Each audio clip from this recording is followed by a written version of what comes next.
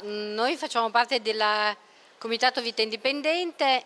e esattamente questa manifestazione Libera di Fare è iniziata già ieri in tutte le città d'Italia e serve per promuovere e favorire la vita indipendente delle persone gravemente disabili. La scelta di farla a Fossombrone quest'anno è stata proprio perché volevamo iniziare anche a, a sensibilizzare il territorio, non solo Fano il, diciamo, il punto di riferimento per l'entroterra fanese, ma anche la parte interna del, della Valle del Metauro. Quindi oggi Fossombrone, domani saremo invece a Montecchio.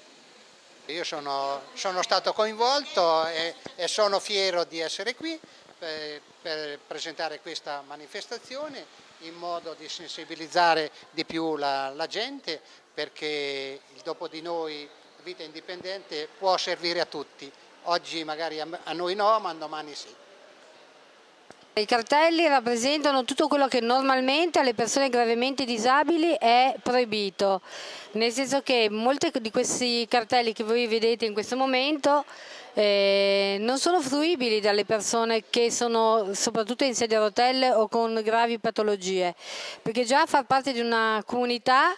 è difficoltoso se ci sono barriere architettoniche, di fare l'amore se non hai la possibilità di interagire, di uscire nei locali pubblici e di conoscere gente è lo stesso discorso. Per lavorare spesso viene disattesa anche la legge 104 e addirittura molte ditte pretendono di, pagano piuttosto la penale piuttosto di assumere persone con eh, la legge 104 e quindi di fare viaggi, io continuo a battagliare anche con l'ANMIC per la stazione di Fano che sia accessibile finalmente a tutti, anche le persone in sedia a rotelle, quindi tutti questi cartelli che voi vedete, che vedrete in tutte le piazze italiane, oggi a Fossombrone, domani siamo a Montecchio, è proprio per sostenere l'impossibilità per molte persone di poter vivere liberamente.